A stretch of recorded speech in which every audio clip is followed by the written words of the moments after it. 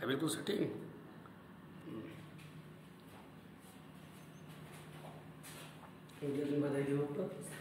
जाएगा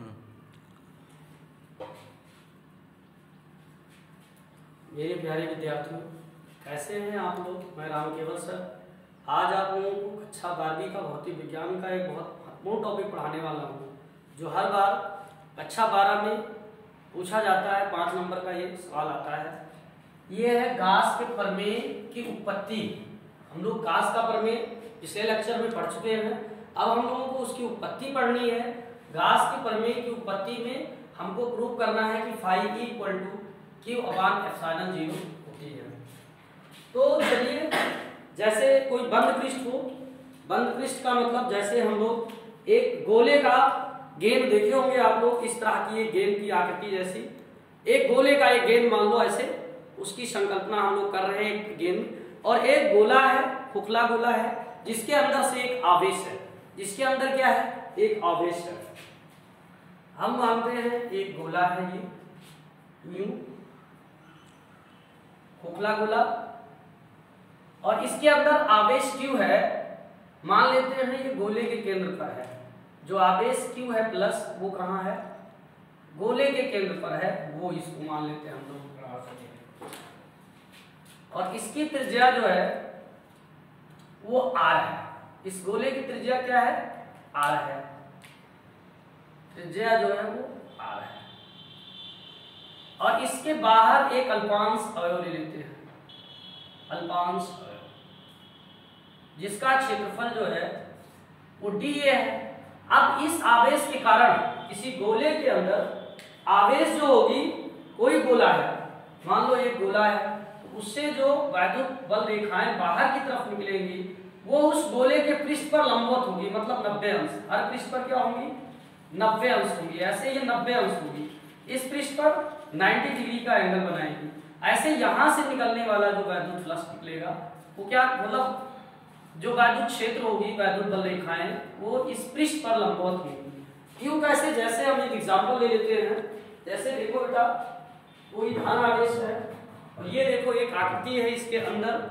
ये बेलनाकार दिख रही है और इसके अंदर पेन को ऐसे, इसके अंदर केंद्र पर अगर आवेश है तो हम लोग चेक कर सकते हैं। अगर केंद्र पर आवेश है और आवेश, ये पेन की नोक आवेश की दिशा दर्शा रही है तो अगर आगे ऐसे बढ़ाया जाए, ऐसे ऐसे, देखो ध्यान से देखना आप लोग। ऐसे बढ़ाया जाए तो ये पेन की नोक इस पृष्ठ पर गई और प्रत्येक पेन की नोक अपने अपने पृष्ठ से क्या बनाएगी? नब्बे अंश का कोण बनाती हुई ऐसे निकल जाएगी। ये भी नब्बे अंश, ये भी नब्बे। मतलब जो इसके अंदर केंद्र से वैद्युत बल रेखाएँ निकलेंगी, वो नब्बे अंश पे। क्योंकि हम लोग जानते हैं किसी भी वृत्त में या गोले में, वृत्त में परित को मिलाने वाली रेखा नब्बे अंश होती है। तो ये ऐसे निकल जाएगा। अब देखिए, किसी गोले का पृष्ठ किधर होता है? क्षेत्र किधर होता है? तो जो गोले का वक्र तल होता है, उस वक्र तल पर लंबवत होती है उसकी दिशा। गोले पे कोई गोल गोल चीज़ है, उस पर लंबवत होती है। लंबवत उसकी दिशा ऊपर की तरफ़। जैसे मेरा हैंड ये देखो, गोले से ऐसा बनाया गया। तो इसकी दिशा जो होगी, वो लंबवत ऊपर की तरफ़, ये पेन देखिए आप लोग, ये लंबवत ऊपर की तरफ़। जैसे गेंद ले लो, गेंद के ऊपर पेन रख दो। लंबवत एकदम सीधा ऊपर। तो क्या देख रहे हैं कि जो हमारी ई होगी और ये होगा, अल्पांश अवयव। यहाँ अल्पांश अवयव लिया गया है इस पृष्ठ पर। ई और ये वो दोनों एक दूसरे पर होंगे पैरालल समांतर होंगे और इसको हम लोग अल्पांश डी ए कहेंगे। ठीक? इसको बिंदु हम लोग दे देते हैं पी इसको क्या देते हैं? एक बिंदु पी देते हैं। अब क्या है? हमारे पास एक बंद पृष्ठ है, एक गोलीय कोश है, जिसकी त्रिज्या आर है। माना एक गोलीय कोश है, एक गोलीय कोश है जिसकी त्रिज्या आर है, जिसकी त्रिज्या आर है एवं इसके केंद्र पर।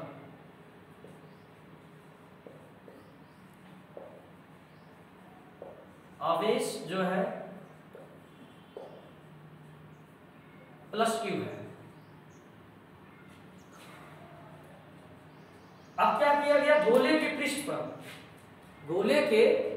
पर, के पृष्ठ पर अल्प क्षेत्रफल अवयव डी है। ये इतना, ये वाला अल्प है। पृष्ठ पर, ठीक? पृष्ठ पर अल्प क्षेत्रफल अवयव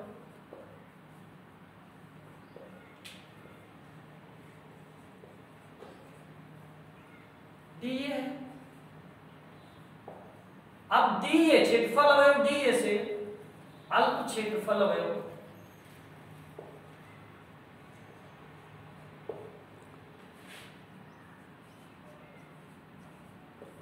डी ए से होकर गुजरने वाला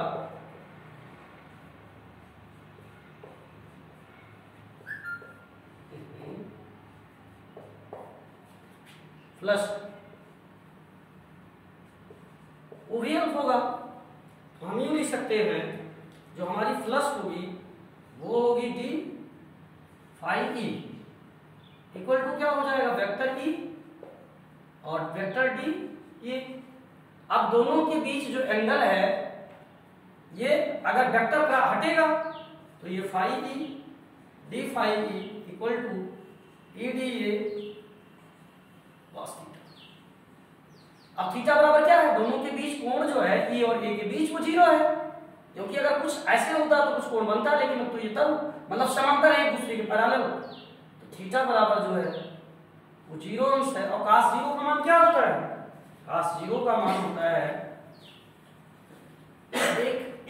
तो अब यहाँ क्या हो जाएगा? ये हो जाएगा D phi E equal to E D और cos ज़ीरो अंश। अब cos ज़ीरो का मान एक रख देंगे तो क्या मिलेगा हम लोगों को? D phi E E D ये। अब जो संपूर्ण वक्रतल है, पूरी गोला है तो संपूर्ण गोलीय चालक से या संपूर्ण पृष्ठ से गोले के संपूर्ण पृष्ठ से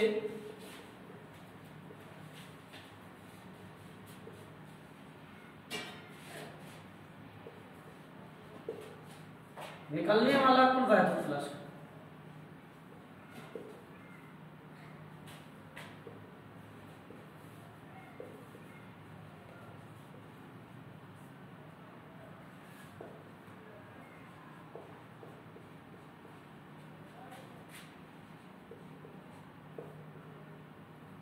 अब कुल कुल का मतलब इसका इंटीग्रेशन करेंगे। ये सरफेस ये सरफेस दर्शा रहा है बंद पृष्ठ। ठीक? इंटीग्रेशन समाकलन है लेकिन ये सरफेस का सतह का बंद सतह का ये हो जाएगा डी फाइव अब डी फाइव इक्वल टू हमारे पास ई डी है। तो ये सरफेस इंटीग्रेशन डी फाइव इसके जगह पे ई डी हो जाएगा। अब हम लोग क्या करेंगे? इसका समाकलन करेंगे तो फाइव ई हो जाएगा। इक्वल टू हो जाएगा। अब ई का तो समाकलन होगा नहीं ई बाहर आ जाएगा। समाकलन होगा डी ए का। अब हम लोग जानते हैं डी ए का मतलब पूरा पृष्ठ क्षेत्रफल। तो गोले का पृष्ठीय क्षेत्रफल क्या होता है? गोले का पृष्ठीय क्षेत्रफल होता है गोले का पृष्ठीय क्षेत्रफल